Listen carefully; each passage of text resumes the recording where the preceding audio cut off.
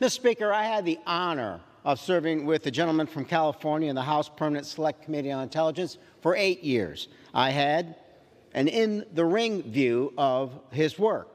And obviously, it is not what Mr. Schiff did that was wrong, it's what he did so well.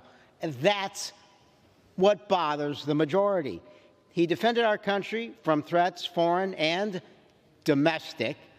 He defended the rule of law and he defended our democracy at one of its most critical and pivotal points. And he held the ethically and legally challenged former president accountable. But what really gnaws on the majority, what really bothers them, is that Mr. Schiff was way better than anybody on their team at debate, at leadership, at messaging, at legal knowledge. He kicked their ass.